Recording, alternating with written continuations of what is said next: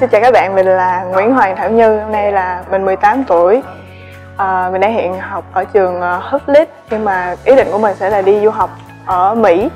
Ngành uh, Business Administration and Management của trường The Community College Mỹ cũng là một cái môi trường tốt thì nếu mình có cơ hội thì mình cứ đi thôi. Qua đó để học hỏi và như là cải thiện bản thân cho cái ngành mà em muốn học. Em muốn làm cái ngành mà em tự làm chủ được công việc của em á.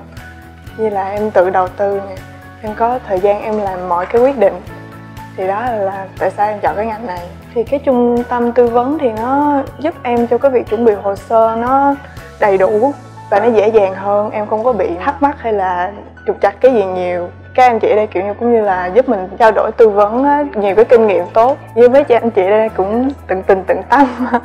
Và cảm thấy thoải mái chứ không có phải là uh, stress hay là gì hết. Lên đây thì các anh chị chỉ giúp mình vậy thôi.